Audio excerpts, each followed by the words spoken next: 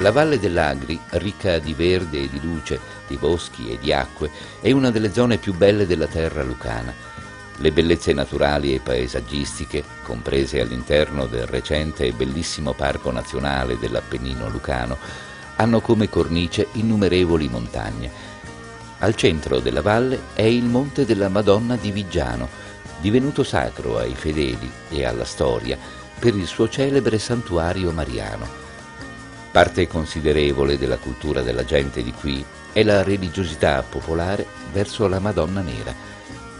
Furono i monaci basiliani, greci, a portare il messaggio mariano e le loro tipiche icone bizantine, Così poi i pastori locali, inclini più a scolpire il legno che a dipingere e ispirandosi alle sembianze delle immagini bizantine, probabilmente incominciarono a scolpire le prime statue lignee della Madonna.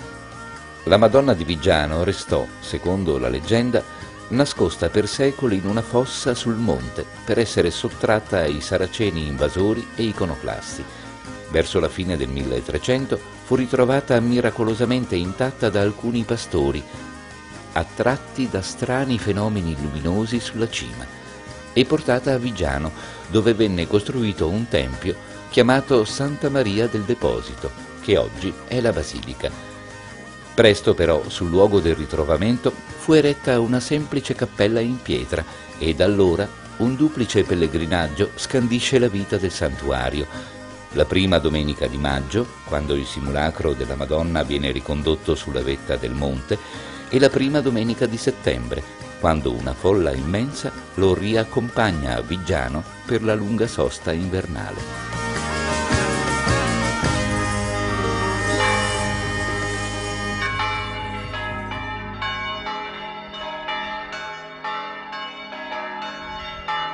Da bambino ricordo le carovane che ancora venivano a piedi qui al santuario di Viggiano, tre giorni lungo i boschi e le montagne dell'Appennino.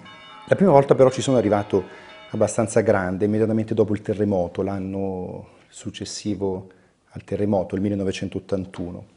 Lo ricordo con precisione perché, eh, oltre avevo 16 anni, ma anche perché fu un'esperienza veramente, veramente toccante. Io non ero ancora in seminario, sono entrato in seminario dopo il liceo però ricordo davvero con eh, intensità eh, l'immagine di questa Madonna che quasi sembrava galleggiare su una folla immensa di teste, no? che scendeva dal monte. E ricordo soprattutto l'effetto che mi fece eh, lo splendore, no? la luminosità di questa immagine. C'era un sole luminosissimo che in qualche modo amplificava ancora di più l'effetto dell'oro. No? per cui era quasi impossibile fissare su di lei, su di lei lo sguardo e si era quasi costretti no, a guardarla negli occhi, no? perché tutto il resto era talmente accecante che quasi gli occhi non, non reggevano lo sguardo. Si era costretti a fissarla negli occhi. Posso dire sinceramente, senza retorica, che ecco, quello sguardo mi è rimasto, da quel giorno mi è rimasto nel cuore, nell'anima, e, e in qualche modo l'ho sentito accanto a me su di me per tutto il resto della mia vita.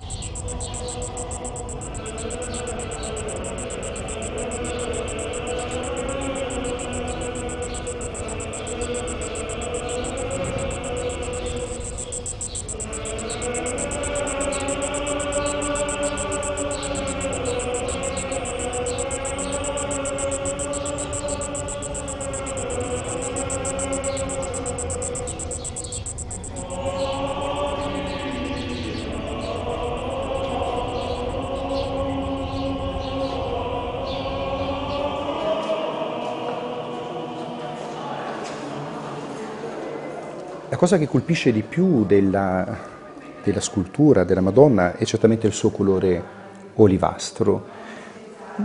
È un classico esempio di, di Madonna nera, anche se questa terminologia è abbastanza recente, nasce soltanto nell'Ottocento, non si ritrova l'espressione Madonna nera, non si ritrova in alcuna fonte eh, medievale. Si è molto, molto discusso e si discute ancora sull'origine di queste Madonne Nere. Sono state elaborate a riguardo diverse, diverse teorie, alcune un po' fantasiose a mio giudizio, altre un po' più eh, verosimili. Secondo alcuni il colore nero, l'annerimento di queste sculture sarebbe dovuto alla devozione dei fedeli, no? cioè frutto del fumo delle candele, dell'umidità, delle carezze dei pellegrini. E questo mi commuove, no? perché fa di queste Madonne davvero, eh, come dire, il portato di una devozione secolare che viene, che viene da molto lontano. Cioè, mi commuove pensare a quanti milioni di pellegrini nel corso dei secoli abbiano sostato in preghiera davanti a queste immagini, abbiano affidato agli occhi della Madonna le loro ansie, le loro preoccupazioni, quante carezze queste sculture abbiano ricevuto.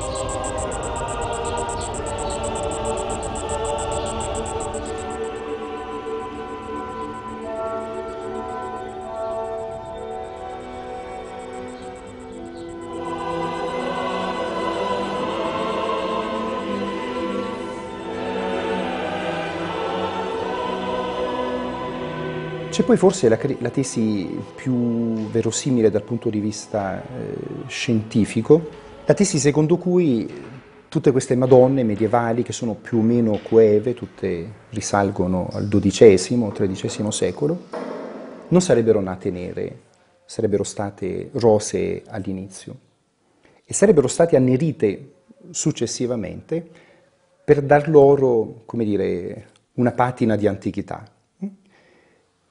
In un periodo di grandi trasformazioni, anche architettoniche e liturgiche, siamo praticamente alle soglie dell'Evo moderno, l'annerimento di queste Madonne avrebbe in qualche modo giustificato la loro conservazione, anche in un contesto architettonico e liturgico, in rapida e profonda trasformazione.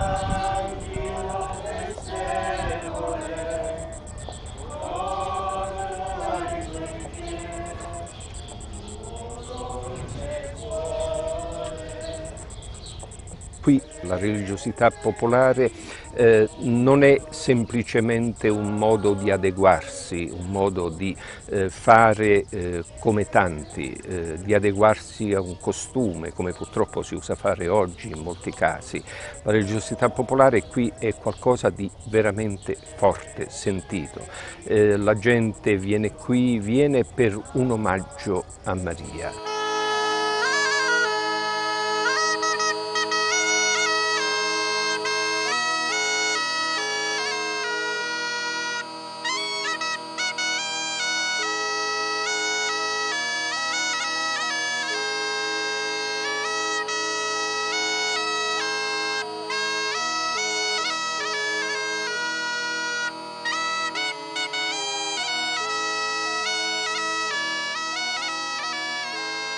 Tempo fa, molto tempo fa, eh, mi sono arrampicato per la prima volta lungo eh, la strada che porta su al santuario. Eh, questo è accaduto eh, più di dieci anni fa. Eh, bene, eh, l'immagine, l'idea che ebbi di questa zona del luogo, che poi ho sorvolato anche con l'elicottero del luogo dove è ubicato il santuario, è un'immagine che cattura l'anima, che ti induce a ragionare sulla presenza di Maria, quella presenza che eh, fu sottolineata proprio tanto tempo fa eh, da un bagliore che non era un bagliore determinato, provocato dalle fiamme di un incendio, ma era un segnale forte. Maria voleva eh, rimanere qui, eh, voleva essere qui in questo luogo eh, e successivamente questo bagliore eh, non è una così pura leggenda, ma è un fatto reale. Questo bagliore eh, si è ripetuto e ha indicato il giorno, eh, la prima domenica di settembre, il giorno in cui appunto la statua della Vergine eh, viene eh, portata dalla montagna, viene portata giù in paese. La leggenda, la leggenda di fondazione, chiamiamola così, del santuario, no? ha giocato sulla presenza dei monaci basiliani per giustificare in qualche modo anche i tratti orientali dell'immagine. Entrano in scena anche i saraceni, questo è qualcosa di classico, insomma, che si ritrova anche nelle leggende di fondazione di tanti altri santuari.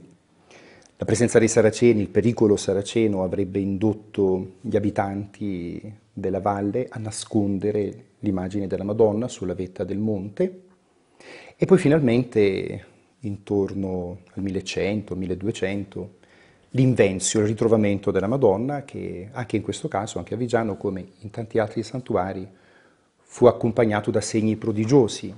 La leggenda narra di curiosi fenomeni di luce che furono avvistati sulla vetta del monte nottetempo e che indussero gli abitanti della valle sottostante, i pastori, a salire fin sulla cima del monte e lì avrebbero miracolosamente ritrovata intatta l'immagine, l'immagine della Madonna.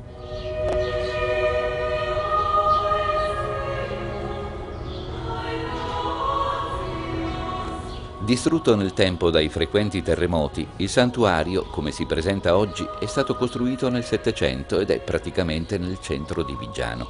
Ricco di stucchi, marmi e oro a foglie, lo stile è quello barocco.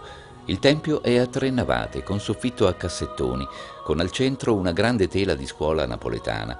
L'altare maggiore è antistante a un settecentesco trono ligneo in oro zecchino, nel quale è custodito il venerato simulacro della Vergine. Al momento è vuoto perché la Madonna si trova, essendo estate, nella cappella sulla cima del Sacro Monte.